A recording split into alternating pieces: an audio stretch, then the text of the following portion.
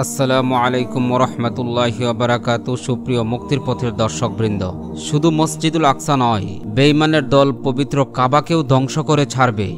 চলুন তাহলে জেনে নেই পবিত্র কাবা ও মসজিদুল আকসা কখন ভাঙা হবে। দুটি আল্লাহর গড় ভাঙার দুটি প্রেক্ষাপট রয়েছে। এক, পবিত্র খানায় কাবা। কেয়ামতের আগে পবিত্র কাবা ভেঙ্গে হজ, উমরা সহ সকল এবাদত বন্ধ করে দেওয়া হবে।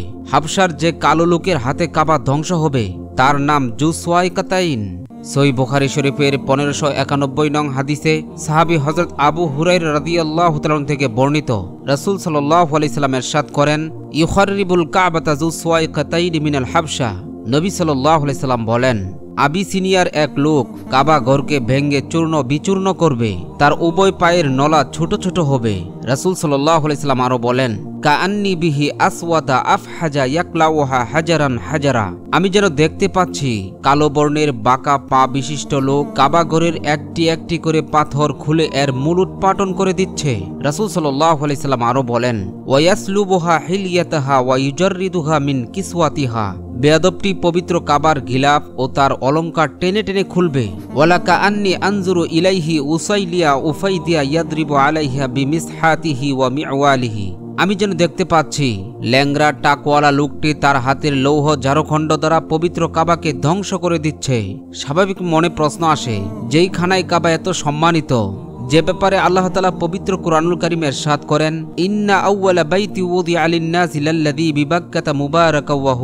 আলামিন। নিঃসন্দেহে সর্বপ্রথম ঘর যা মানুষের জন্য নির্ধারিত হয়েছে, সেটাই হচ্ছে এই ঘর বাইতুল্লাহ, যা মক্কায় অবস্থিত এবং সারা জাহানের মানুষের জন্য হেদায়েত ও বরকতময়। যে কাবা মানুষ পৃথিবীতে আগমনের প্রায় আড়াই হাজার বছর পূর্বে আল্লাহ তালা ফিরিস্তার মাধ্যমে তৈরি করলেন, যেই ঘর হস্তি বাহিনীর আক্রমণ থেকে আবাবিল পাখি দ্বারা আল্লাহ তালা হেফাজত করলেন এবং আক্রমণকারীদেরকে চূড়ান্তভাবে ধ্বংস করে দিলেন।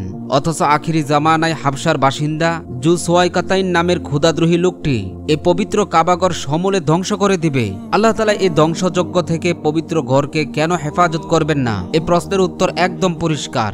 যেহেতু খানাই কাবা গোটা পৃথিবীর রহমতের প্রাণকেন্দ্র, অর্থাৎ যতদিন এ খানাই কাবা মানুষের কাছে সম্মানিত থাকবে, ততদিন পৃথিবীর সকল কিছু সুন্দর ও সুশৃঙ্খলভাবে পরিচালিত হবে। যেহেতু আল্লাহ তালার ইচ্ছা হলো গোটা পৃথিবী একদিন ধ্বংস করেই দিবেন, সেহেতু পৃথিবী ধ্বংসের অন্যতম কারণ খানাই কাবাকে অসম্মান করা। তাই গোটা মানব মণ্ডলী সহ বিশ্ব ব্রহ্মাণ্ড ধ্বংসের জন্য মানুষ যা করবে আল্লাহ তালা তার জন্য পৃথিবীতে নগদ কোনো আজাব প্রয়োগ করবেন না, যেন মানুষগুলো চরম অপরাধী হয়ে পৃথিবীতে বেঁচে থাকার অধিকার হারিয়ে ফেলে।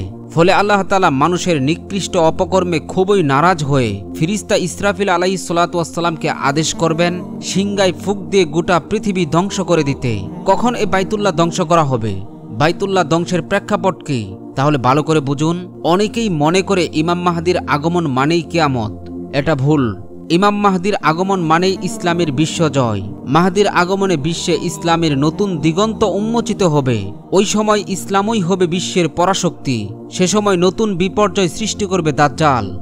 অতপর দাজ্জাল হত্যা করতে ঈসা আলাহি সালাতামের আগমন হবে।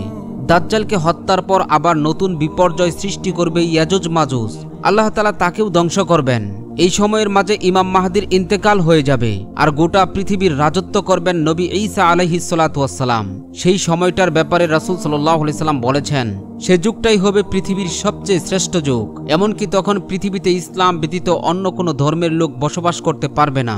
সে সময় তাবৎ দুনিয়া জুড়ে একটি দেশ বলে বিবেচিত হবে, আর সেই দেশের রাজা প্রজা সবাই হবে জান্নাতি। সুবহান বিশুদ্ধ বর্ণনা মতে ঈসা আলহি সালাতাম সাত বছর রাজত্ব করার পর তিনি ইন্তেকাল করবেন। রাসুল সাল্লাহ আলাইস্লামের রওজার পাশে তাকে দাফন করা হবে।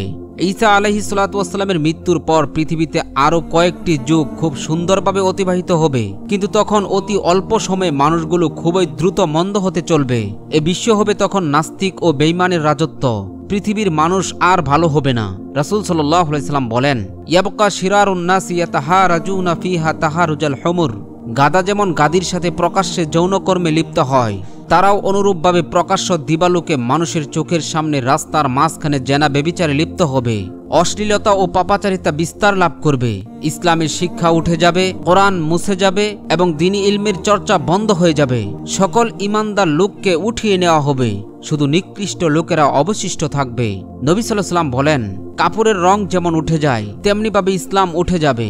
নামাজ, রোজা, হজ জাকাতের কোনো কিছুই অবশিষ্ট থাকবে না। কোরআনের আয়াতগুলো মিটে যাবে, মানুষের মাঝে তখন লা ইলাহা ইল্লাল্লাহ ব্যতীত ইসলামের কোনো কিছু অবশিষ্ট থাকবে না। তারা শুধু বলবে, আমাদের পূর্বপুরুষদেরকে বাক্যটি বলতে শুনেছি, তাই আমরা বলি। কিন্তু তার প্রতি তাদের বিশ্বাস থাকবে না। তখন পৃথিবীর পরাশক্তি হবে আফ্রিকা। ঠিক সেই সময় পবিত্র খানায় কাবাকে জু সোয়াইকাতের নামের ব্যক্তি চূর্ণ বিচূর্ণ করে দিবে। তখন পৃথিবীর ধ্বংস অনিবার্য হয়ে যাবে। মহান স্রষ্টা আল্লাহ সুবাহানাহুতালা পশ্চিম দিক থেকে হঠাৎ সূর্য উদয় করে মধ্যাকাশ পর্যন্ত নিয়ে আসবেন। পরের দিন সূর্য আবার নিয়মিত উঠতে থাকবে। তার কয়েকদিন পর ইসরাফিল আলাহি সালাতাম সিংগায় ফুক দিবেন।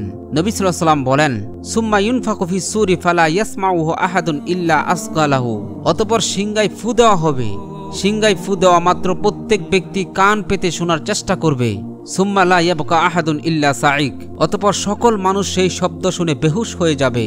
এই সিঙ্গার সুর মূর্ছনা প্রথমভাবে খুবই মিষ্টি লাগবে। কিন্তু সময় যত অতিবাহিত হবে, তা বিকট থেকে বিকট। মহা বিকটে পরিণত হবে। ফলে মহা প্রলয় কেয়ামত সংগঠিত হয়ে পৃথিবীর আসমান, জমিন, চাঁদ, সুরুজ, গ্রহ, নক্ষত্র সব কিছু ধ্বংস হয়ে যাবে। শুধু আল্লাহ সুবাহানহুতালা একা থাকবেন। যেমন তিনি একা ছিলেন পূর্বে, তাই পবিত্র খানায় কাবা ওই সময় ভেঙে ফেলা হবে, যখন গোটা মহাবিশ্ব ধ্বংসের একেবারে ধার প্রান্তে পৌঁছে যাবে। দুই, মসজিদুল আকসা। মসজিদুল আকসা ভেঙ্গে ফেলা হবে ইমাম মাহাদির আগমন ক্ষণে। বর্তমান ইহুদি গোষ্ঠী এটাকে ভেঙ্গে দাজ্জালের ঘরে রূপান্তরিত করবে। অর্থাৎ বাইতুল মোকাদ্দাস ভেঙ্গে মুসলিমদের সাথে যে ঐতিহাসিক মালহামা বা মহাযুদ্ধ হবে, এ যুদ্ধের নেতৃত্বে আসবে ইমাম মাহদি। হাদিসের ভাষ্যমতে এটাই সুস্পষ্ট। মাহাদির আগমনের পর দাজ্জাল হত্যা করতে ঈসা আলহি সালাতামের আগমন, অতপর ঈসা আলহি সালাতাম দাজ্জাল হত্যার পর দাজ্জালের সকল চিহ্ন মিটিয়ে দিবেন। এবং বাইতুল মোকাদ্দাসকে পয়গম্বর সুলাইমান আলাইহি সালাতামের সৃষ্টি শৈলীর আদলে পুনরায় স্থাপিত করবেন, যার বিস্তারিত আলোচনা আমরা আরেকটি পর্বে আলোচনা করব ইনশাআল্লাহ। আল্লাহ তালা মুসলিম উম্মাকে সত্য সঠিক পথে পরিচালিত হওয়ার তৌফিক দান করুন। আমিন।